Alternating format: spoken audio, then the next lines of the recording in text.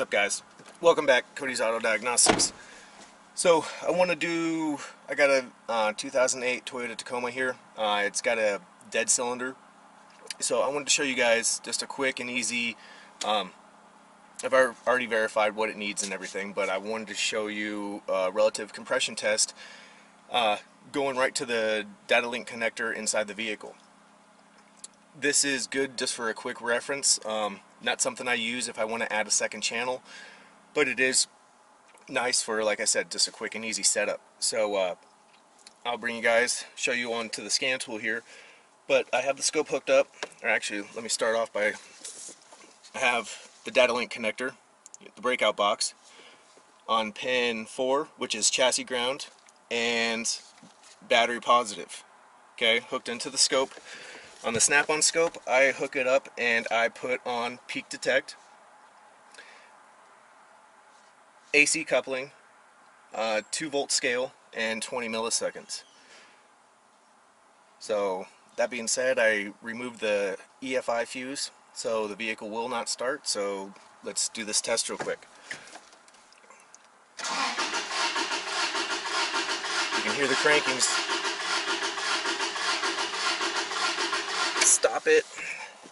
One thing with Snap-on, you want to you have to capture the data and then zoom out. So I am zooming out. And right here, get this out of the way.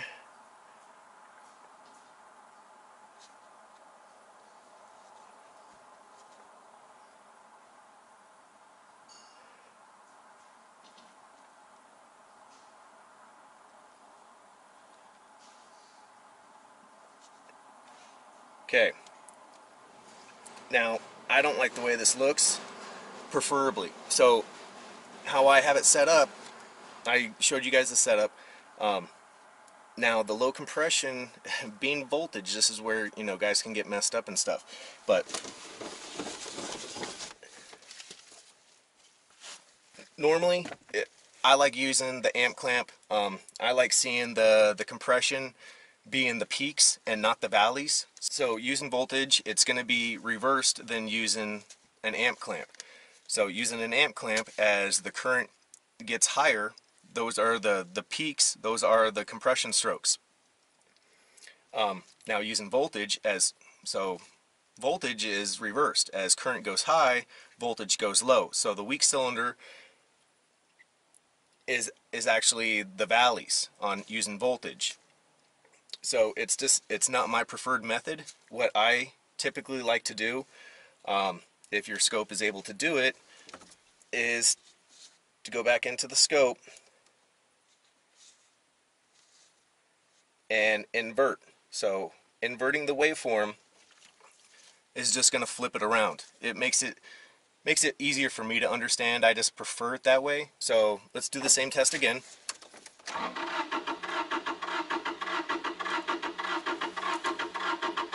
Stop it, zoom out, and you can see that the waveform is flipped. Okay, so you can see here we have a peak of one peak, two peaks, three peaks, and then we have a valley, a missing a missing peak. So this is a four-cylinder engine. It's a 2.7 Toyota.